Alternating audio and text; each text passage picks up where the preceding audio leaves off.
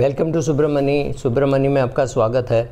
आ, ये ख़ास मैं उन महिलाओं के लिए बना रहा हूँ जो महिलाओं के पति आर्मी में है। आर्मी का मतलब आर्मी नेवी या एयरफोर्स कहीं भी अगर आपके पति वहाँ हैं और आप घर में पैसे घर में हैं तो आपको याद रखना चाहिए कि घर का फाइनेंशियल मालिक आप हैं।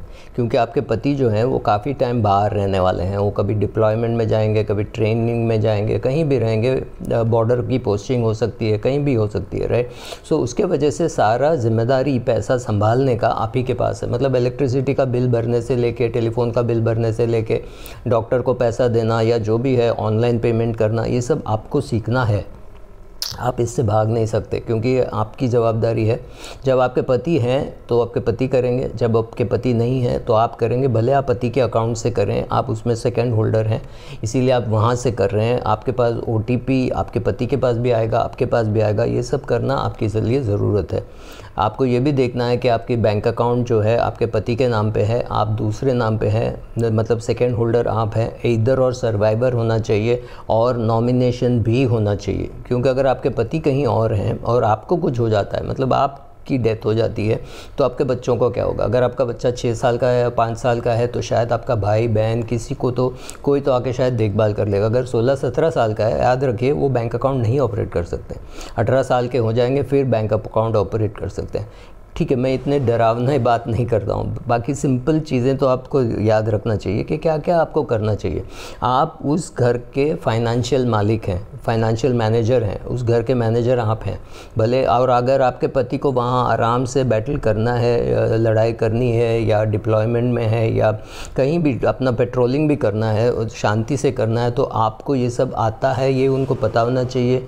और उनको पता होने के साथ आपको सच में आना चाहिए और ताकि वो वहाँ शांति से काम कर सकें। तो क्या क्या चीज़ें हैं जो आपको पहले से पता होना चाहिए? फ़र्स्ट ऑफ़ ऑल औरतें जो हैं वो प्लानिंग में बहुत अच्छे होते हैं। जो घर की प्लान करते हैं, बच्चों की प्लानिंग करते हैं मतलब बच्चों की पढ़ाई की प्लानिंग करते हैं।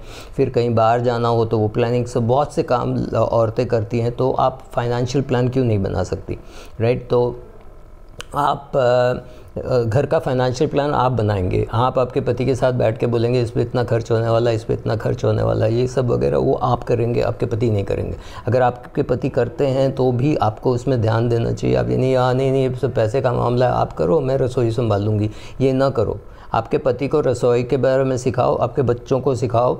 अगर आपके पति को कुछ नहीं आता है और आपके बच्चों को आता है, कम से कम आपकी बहू तो आपको बोलेगी ठीक है, मेरी सासू ने मेरे बेटे, मेरे पति को चाय बनाना, दाल बनाना और बेसिक सब्ज़ी बनाना तो सिखाया। मेरी सास तो बोल रही थी, उसके पति को तो कुछ नहीं आता था।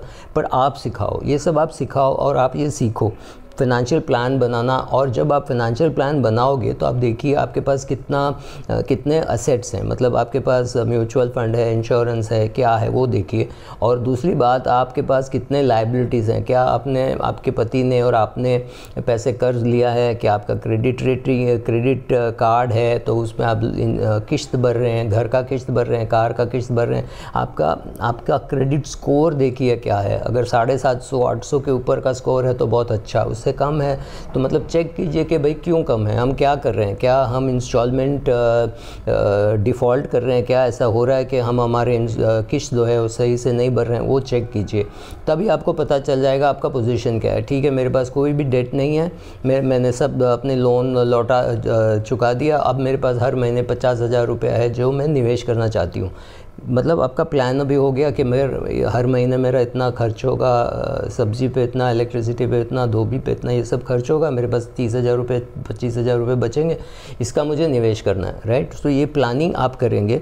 आपके अगर डेट है तो रीपे कीजिए डेट नहीं है तो सुबह next you move on and see what is to be done अभी आपके पास एक्सेस पैसा है, हर महीने आपके पास पच्चीस हज़ार है या तीस हज़ार है, वो है, उसको आप पहले बचाना सीखेंगे। सीख तो पहले आप सीखेंगे कि इसका बचाया इसको कैसे बचाया जा सकता है। बैंक में रिकरिंग डिपॉजिट खोल सकते हैं, या पोस्ट ऑफ़िस में रिकरिंग डिपॉजिट खोल सकते हैं तो फिर जमा होगा पैसा। फिर एक साल, दो साल अगर जमा हो गया, तब आपको लगेगा, ठीक है, इसकी मैं निवेश कर सकती हूँ। या तो आप हर महीने उसका एसआईपी कीजिए। एसआईपी शब्द तो आपने सबने सुना होगा। एसआईपी होता है सिस्टमेटिक इन्वेस्टमेंट प्लान वो आप दो तीन म्यूचुअल फंड में, कोई डेट फंड में, कोई इक्विटी फंड में कीजिए। अगर आपको पता नहीं है ये कैसे किया जाता है, अगर आपके पति को भी पता नहीं है ये कैसे किया जाता है तो प्लीज़ एक एडवाइज़र के पास जाइए।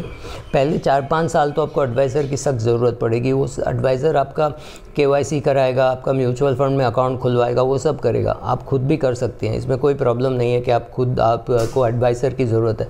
लेकिन अभी आपको पता भी नहीं है कि म्यूचुअल फंड के ऑफ़िस में चाहिए, जाना चाहिए कि बैंक के ऑफ़िस में जाना चाहिए।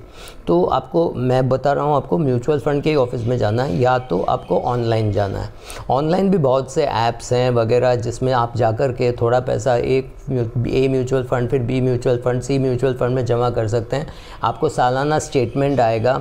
सालाना स्टेटमेंट तो आएगा ही आएगा। जब भी आप चाहें ऑनलाइन जा कर के वो स्टेटमेंट देख सकते हैं। करेक्ट तो ये बेसिक्स तो आप सीखिए, फिर आप निवेश कीजिए, आप मतलब आपने सेविंग करना सीख लिया, फिर आप उसका निवेश कीजिए, फिर आप देखिए वो निवेश सही हो रहा है कि नहीं मतलब जब स्टेटमेंट आती है तो उसका देखना, कैसा देखना।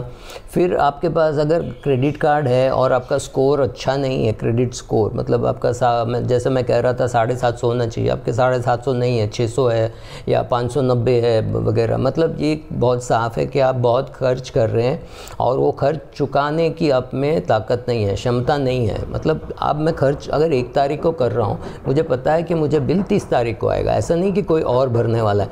तो तीस तारीख को मेरे पास इतना पैसा होना चाहिए कि मैं एक तारीख, पाँच तारीख, सात तारीख जो भी मैं खर्च करूँ, वो सब मिल करके एक दिन को मैं चुका सकूँ।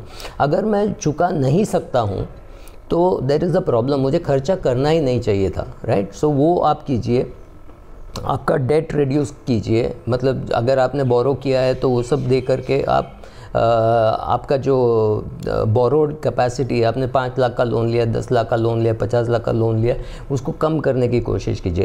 एक दिन में ज़ीरो तो होगा नहीं बट आपने जून में स्टार्ट किया तो ये मान लीजिए कि मैं सितंबर तक उसको ख़त्म कर दूँगा, उसको ज़ीरो कर दूँगा राइट तो फिर आपका एक सवाल उठता है कि मैं मुझे अभी सेविंग करना चाहिए कि निवेश करना चाहिए? मेरे ख्याल से दोनों करना चाहिए, लेकिन अगर आपके पास कोई ऐसा गोल है जो आपको अगले तीन साल में पैसे चाहिए, वो पैसा आपका डेट फंड में रहेगा, या तो डेट में रहेगा। कंपनी में बैंक में आरडी खोलेंगे या तो कोई म्यूचुअल फंड में आप हर महीना थोड़ा पैसा जमा करेंगे लिक्विड फंड हो या अल्ट्रा शॉर्ट बॉन्ड फंड हो हर महीना उसमें पैसा जमा करेंगे ताकि जब आपको ज़रूरत पड़े तब आप उसको निकाल सकें राइट सो so, आपको सेव भी करना है इन्वेस्ट भी करना है। सेविंग मतलब वो ऐसी चीज़ें जिसमें इंटरेस्ट कम लगता है बट रिटर्न भी कम मिलता है बट आपको कोई इमरजेंसी है तो आप उसमें से पैसा बिना आ, कोई शर्त लगाए बिना एग्ज़िट लोड एंट्री लोड कुछ नहीं होगा आपको पैसे मिल जाएँगे राइट सो इसीलिए ये दोनों आपके एक आ, एक छोटा बैंक बड़ा बैंक जो भी आप समझो दो बैंक अकाउंट्स की ज़रूरत है। और एक देखिए, आप पीपीएफ वगैरह एनपीएस में पैसा डाल रहे हैं, आपका एम्प्लॉयर भी कंट्रीब्यूट कर रहा है तो उसी में आपका रिटर्न बहुत अच्छा हो रहा है तो उस पर भी थोड़ा ध्यान दीजिए। और फिर आप वेरी इंपॉर्टेंट आप फ्रॉड से अवॉइड फ्रॉड अवॉइड कीजिए। क्या होता है कि जब आपकी एज हो जाती है, आप सीनियर सिटीज़न हो जाते हैं, या आप आप औरत हैं, या तो लोग समझते हैं हाँ इसको तो मैं उल्लू बना सकता हूँ, और बनाते भी हैं तो right so be very careful आपके पास कोई भी कुछ भी प्रपोजल लाता है तो आप लिख के मांग लीजिए, उससे कहिए ईमेल भेजो, उसको बोलो कि मैं ये सब टीवी चैनल देखती हूँ, इसको जानती हूँ, उसको जानती हूँ, मैं ये करती हूँ, मेरा भाई नासिक में पुलिस इंस्पेक्टर है, जो भी आपको बोलना है बोलिए।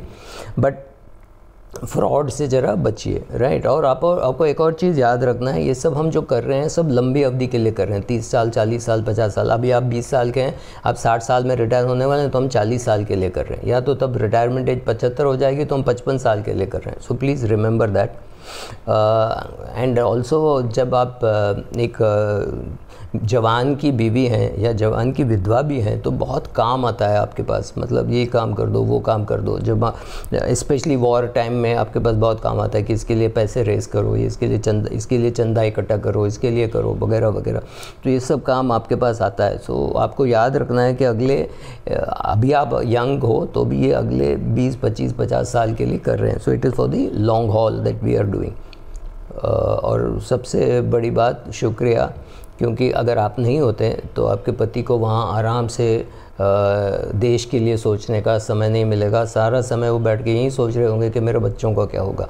आप हैं, आप उसकी ज़िंदगी संवार रहे हैं, उसके साथ उसकी, उसके पैसे भी संभालने की क्षमता रखिए। आप में अक्ल तो है तो क्षमता रखिए, धीरज दिखाइए और टेक चार्ज जैसे कहते हैं ना, जाओ अपनी आर्मी यूनिट की चार्ज लो, वैसे आप अपने घर के पैसे की चार्ज लो। Thank you